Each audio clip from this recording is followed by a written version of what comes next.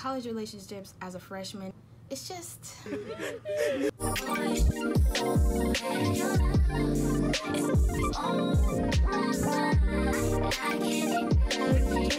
So what's good, what's poppin'? It's Jaidyn, aka Baby J. Today I'm doing a freshman advice video for y'all going off to college for the first time. I've graduated from college, actually not that long ago, so you know, I have the tea going on all for years. I wanted to give you freshmen some advice because girl, just going in here blind, it's not the way. so I'm about to hit y'all with some pointers, with advice. I know when I went to college, your girl was lost. The girl was confused. I don't want y'all to be like that. So I'm gonna help y'all out. Before I get started, I want y'all to like this video, subscribe, all right, and leave me a comment. Like, if I helped you, you know, if I didn't help you, like, let me know. Sit back, relax. I'm about to hit you guys with the facts. So, the first thing I want to say is that grades come first. You are going to college to get an education.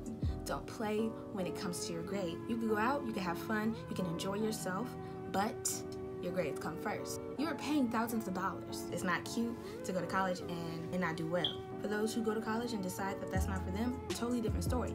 But for those who go to college and want to do something and know that you need to go to college in order to do that, you need to be serious about your grades. I wanted to make sure that was number one so you guys know because if you fail, you really have to retake that class, which means you have to pay for it again. And one class, baby girl, is expensive. Look it up. Look it up. I'll, I'll let you guys do your own research. Expensive. Don't play. All right, so on to the next one. So the next one is before you move into your dorm rooms, reach out to your roommates, get to know them, see what they're about, see what their personalities are like. Look them up on Facebook, message them, because that's what I did. I would message every single girl, like, hi, my name is Jaidyn, I'll be your roommate. You know, like just to get a feel of them because they are strangers. On that same note, like really try to get along with your roommates. Honestly, it's hard because not everybody is raised the same way, baby girl. Definitely not that's where you learn a lot about yourself and like your patience levels. Cause girl, I have a whole story time about it, but my roommates used to test me. If something bothers you that they're doing, they're not cleaning up after themselves, you've been telling them, don't hold it in and just tell it to your friends. Like, oh my god, this girl never cleans up after herself. She's dirty and she stinks. She never takes showers. Da, da, da, da. Like maybe that's true. Tell her. Tell her. Like, hi, we live together and you gotta fix this. Or, or if it's a boy, hey, like bro, your dirty socks is really making this room stink. And I don't like coming into the room and it's smelling like this. Just be honest. Communication is key. And I know that sounds so corny, but communication is key. Make sure the person that you're having this issue with knows that you have an issue. If you're still having problems after that, make sure to reach out to your RA. Don't get into a fight, all right? I did that. Don't do it. Story time of that. There's no reason to be passive aggressive. If you're having an issue, if you're having problems, let them know. Period. Because that's the quickest way to get it solved. So, my next one It's okay. Y'all, I know I wrote two twice. Please ignore that. Thank you very much. To end up with a different group of friends. It's okay to change friends. It's okay to realize that you don't want to hang out with certain people. It happens. Don't dwell on it.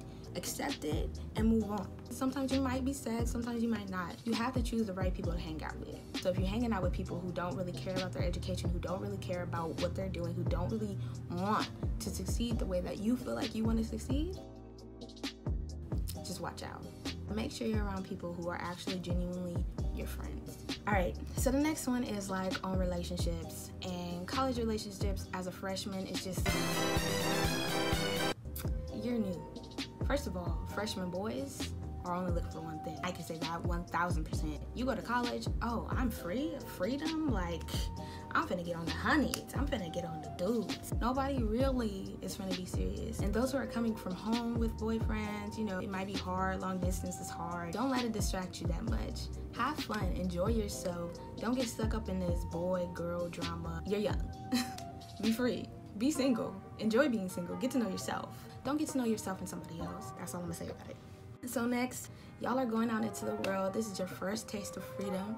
Be smart when you go out to these parties. Be smart when you're walking around at nighttime. Don't go out alone. If you went with friends, leave with them. Be smart about the choices that you make because I promise you these choices will affect you for the rest of your life. The rest of your life. You're an adult now, so everything that you do will affect you. Period. The next thing I want to say is if you're not a morning person, do not take morning classes. Listen, listen to me. Do not take morning classes unless you have to. Unless that class is not offered any other time because you're not gonna go and you don't want to deal with it. I'm telling you right now, it's not the move. It's not the move. Well, in high school, I woke up at 6 a.m. every morning. My mom woke me up at 6 a.m. That's because your mom came in your room and yelled at you to get up. Nobody's doing that in college. No one's telling you to get up. Nobody's making you go to class. If you turn your alarm off, accidentally fall back asleep, wake up, it's 8.25, you already missed your first class. But, all right, in the same sense, and you decide, oh, I'm gonna take afternoon classes, that means that you will get out of your classes later. So that's really up to you. My next advice to you freshmen, like y'all, go to class. Go to class. Go to class. Let me tell you something. Maybe you did bad on a test. Maybe you did bad on a big homework assignment. At the end of the semester, at the end of the school year, those participation points can make or break your grade. Also, you know, not going to class, your teachers notice.